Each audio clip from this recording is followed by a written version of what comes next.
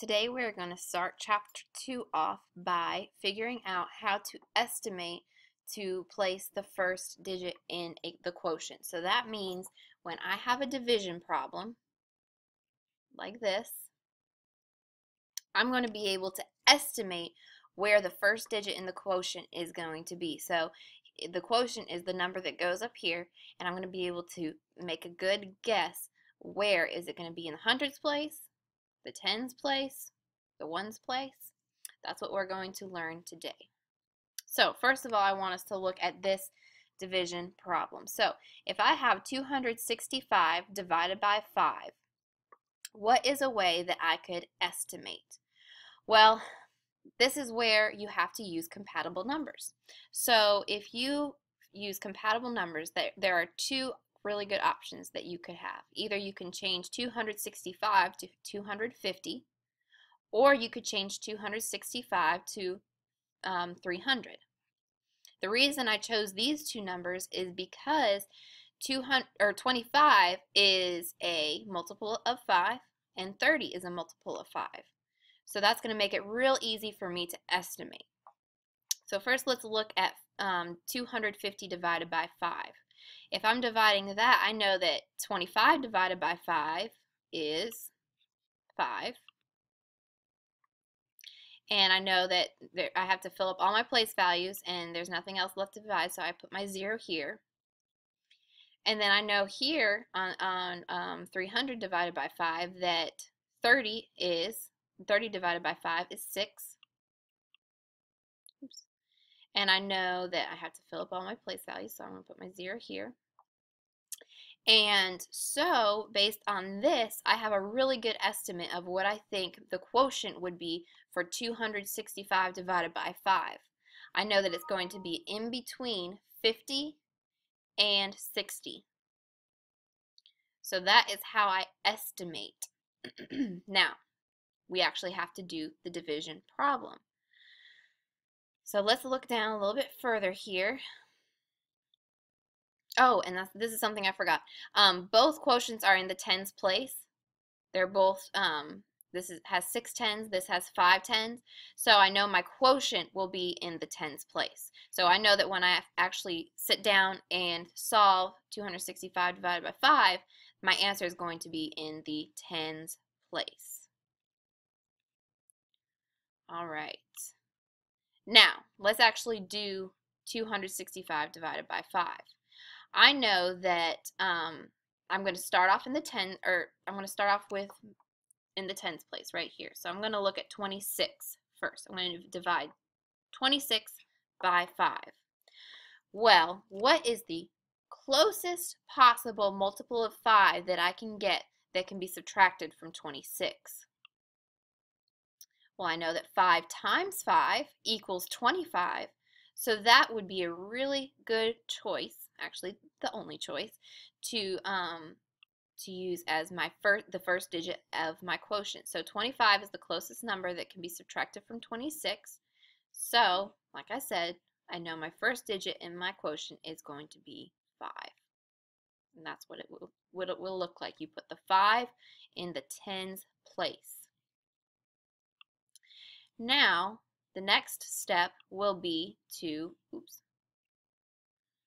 the next step is going to be actually put the 25 in here somewhere. So I know that I need to multiply 5 times 5, which is 25. I put the 25 underneath the 26, and I subtract it. So if you subtract 25 from 26, the answer that you get is 1. That's the remainder so far. All right, now my next step is I have to regroup. So I did 265 divided by 5, and I have um, my, the first digit of my quotient is 5, and then I had to regroup the 1. Now, the next step is I have to take, I have to now um, divide out the ones place. So I'm going to drop the ones place down here by the 1 to make it 15. And in order to figure out what the um, last digit is in my quotient, I'm going to do the same thing I did with 26. I'm going to divide 15 by 5. 15 divided by 5, well I know I can multiply 5 times 3 to find 15. So I know that 3 is going to be in my ones place. So 5 times 3 is 15, so I have to put that 15 down here underneath, and I have to subtract. 15 minus 15, 0. Alright, so that's one way that I can estimate to find the first digit and then solve the equation. But another way that I can um, estimate the first digit is to use place value to place the first digit. So when I say I'm going to use place value, that means I'm going to look at my um, look at my problem, which in this case is 4 divide or 253 divided by 4. I'm going to make put that into standard algorithm first. So 4 and then I'm going to put my 253 here. First, I'm going to look at my hundreds place which is 2. And I'm going to ask myself, can 2 be divided by 4? Well, no, it can't. So I'm going to have to go to the tens place. Can 25 be divided by 4?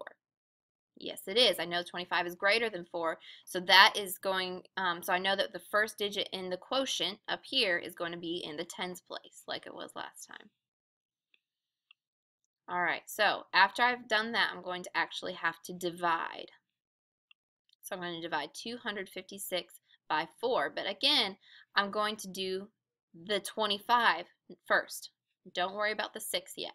You leave the 6 in, but we're only dividing um, the 25. So 25 divided by 4.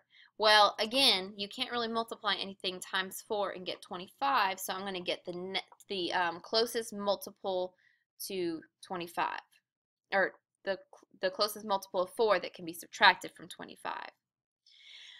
I know that 6 times 4 equals 24, so that's very close. So what I'm going to do is I'm going to multiply 4 times 6. So I'll put my 6 in my um, tens place in my quotient, and I'm going to multiply 6 times 4, which is 24, which goes right here, and I subtract 24 from 25. Well, the difference is 1. So I'm going to put the 1 down here. Now, remember, my next step is to regroup. So I've done, I've subtracted um, 24 from 25. I'm going to um, put my remainder down here. And I'm going to drop down the ones place because that's what I still have to divide. So I'm going to drop that right here. 16. What is 16 divided by 4? Well, if you're thinking of multiples, you know that 4 times 4 is 16. So 16 divided by 4 would be 4. So I'm going to put 4 in my ones place. Remember, I'm going to multiply that times 4. And then I have to subtract. 16 minus 16 is 0. So I know that my quotient is 64. So those are a couple of ways that you can estimate to find your um, quotient or find where the first digit in your quotient is going to be. Tens place, hundreds place, ones place. So what I want you to do now is I want you to get out your math journals. I want you to complete questions 1 and 2 in your math journals. Now these have two parts, so if you look with me really quickly, it says what place, hundreds, tens, or ones, is the first digit in the quotient for 4 uh, or 81 divided by 4. So you're going to tell me, is it going to be in the hundreds place, tens place, ones place for the um, for this division problem right here. Then you're actually going to solve that division problem. Same thing with number two, right? Tell me what place is going to be the first the first digit is going to go um, in the quotient for 38 divided by 6. And then you're going to solve 38 divided by 6. Go ahead and pause the video and complete those questions. Alright, so hopefully you paused the video, you answered those questions in your math journal. Please make sure that you complete your WSQs, which is watch, summarize, and question. And um, when you're done, click the turn in button on Edmodo and in the comment section write Miss Cassiday or Miss Clemens, whichever class you're in, I completed the work.